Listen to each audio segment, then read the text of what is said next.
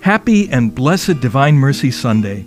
Hello, Father James Kubicki here, and on this second Sunday of Easter, we have the gospel story of how Thomas came to believe that Jesus was risen from the dead. How did he come to believe? By touching the wounds on the risen body of Jesus. Isn't it curious that the risen body of Christ still had the wounds in his hands, feet, and side? Here's what Pope Francis had to say about this. At the heart of this Sunday are the glorious wounds of the risen Jesus. He had already shown those wounds when he first appeared to the apostles on the day of the resurrection, but Thomas was not there that evening. And when the others told him that they had seen the Lord, he replied that unless he himself saw and touched those wounds, he would not believe.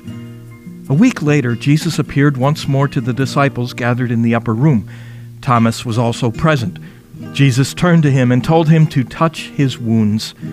Whereupon that man, so straightforward and accustomed to testing everything personally, knelt before Jesus with the words, My Lord and my God. The wounds of Jesus are a scandal, a stumbling block for faith, yet they are also the test of faith. That is why on the body of the risen Christ the wounds never pass away they remain, for those wounds are the enduring sign of God's love for us. They are essential for believing in God, not for believing that God exists, but for believing that God is love, mercy, and faithfulness.